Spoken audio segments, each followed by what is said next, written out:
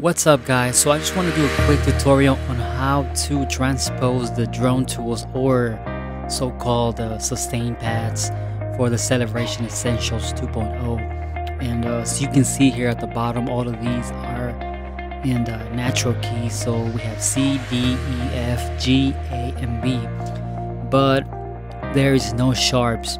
And I've had a few people ask me how can they play this in a C sharp or E flat, stuff like that. This is really simple and really easy to do.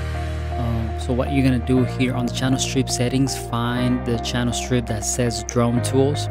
Head over to the chord trigger.